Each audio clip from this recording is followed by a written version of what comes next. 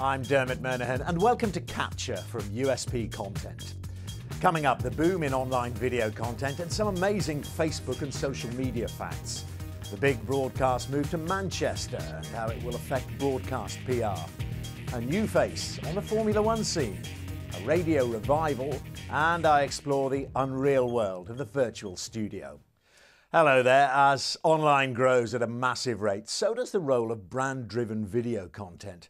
Now, brands are creating content to engage intimately with their consumers, and online gives them the opportunity to target their audience with laser precision. But online video isn't just about shaky cams. The surfing audience expects more. Here's Anna Woolhouse.